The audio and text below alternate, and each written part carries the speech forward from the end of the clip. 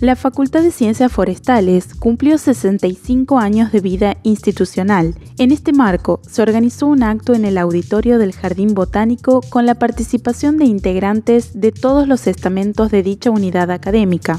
En una emotiva ceremonia se compartieron mensajes en los que se hizo un repaso por los hechos históricos más importantes que dieron origen a la primera Facultad de Ingeniería Forestal de Argentina.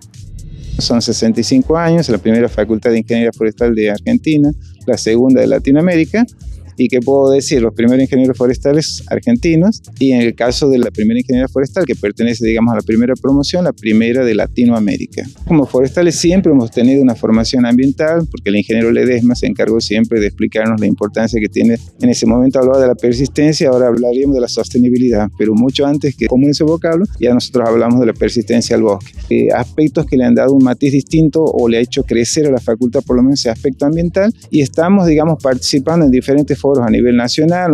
Nosotros hace poco hemos inaugurado un centro de tecnología de la madera, el primer centro de extensión de escala industrial que tiene la facultad. Y nosotros esperamos realmente ahora, a partir de, nuestro centro tecnológico de la madera, pues, llevar la transformación a todo el sector productivo que tiene que ver con la industrialización de la madera.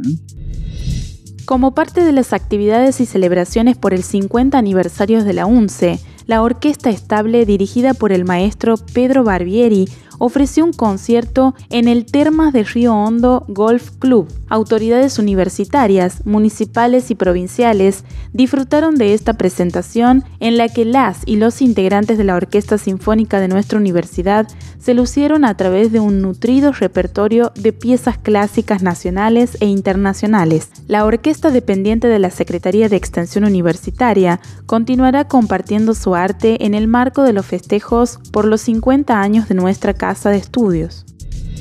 Se llevó adelante la conferencia titulada Educación y Justicia Afectiva, a cargo de la docente e investigadora doctora Karina Kaplan.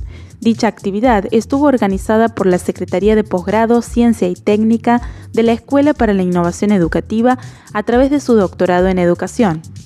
En este momento tenemos que pensar el lugar de la escuela en la reparación del dolor social.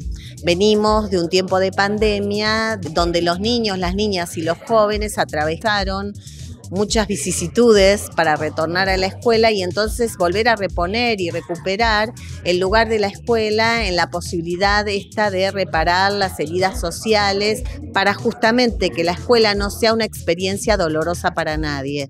Una de las cuestiones que hemos venido investigando es cómo a veces los niños se sienten solos, a veces se sienten avergonzados o humillados, es decir, toda una forma de violencia simbólica que opera en las escuelas como reflejo de lo que eh, sucede en la sociedad y entonces cómo hacer para que la escuela sea un lugar de mayor felicidad que pueden reparar ciertos dolores o marcas del dolor que traen de sus familias, de las condiciones de la desigualdad que habitamos. La escuela es un lugar donde toda la sociedad apuesta para que nuestros niños se formen tanto en contenidos disciplinares como en saberes y valores y eh, garantizar lo que denomino la justicia afectiva, que es el derecho de los niños, las niñas a ser amados, protegidos y cuidados.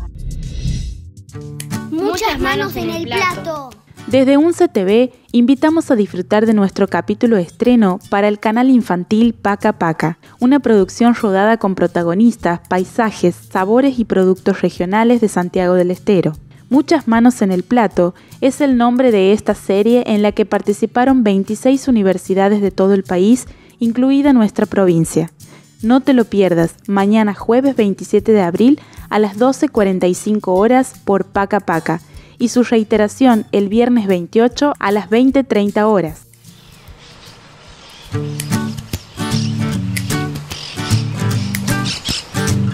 Hola, soy Selva y vivo en el monte. Listo los ingredientes, Selva. Así hacemos harina del garrón.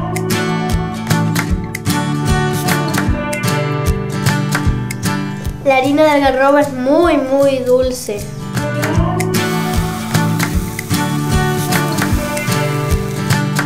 Muy buena. Me encanta cocinar con mi tía. Es como hacer experimentos. ¡Tarán!